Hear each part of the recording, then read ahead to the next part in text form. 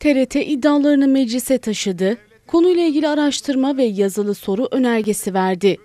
Cumhuriyet Halk Partisi Denizli Milletvekili Haşim Teoman Sancar, Oda TV'de yayınlanan TRT World'de çalıştıkları firma tarafından yurt dışında başka görevlere gönderilen kişiler kadrosunda çalışanlara döviz cinsinden ödeme yapıldığı iddialarını Türkiye Büyük Millet Meclisi gündemine taşıdı. Konuyla ilgili araştırma ve yazılı soru önergesi veren milletvekili Sancar, TRT'de 22 bin euro, yaklaşık 125 bin Türk lirası maaşla çalışan personel var mıdır sorusunu yöneltti. Sancar, iddialarını Cumhurbaşkanı Yardımcısı Fuat Oktay'ın yanıtlaması istemiyle 9 maddelik soru önergesi sundu.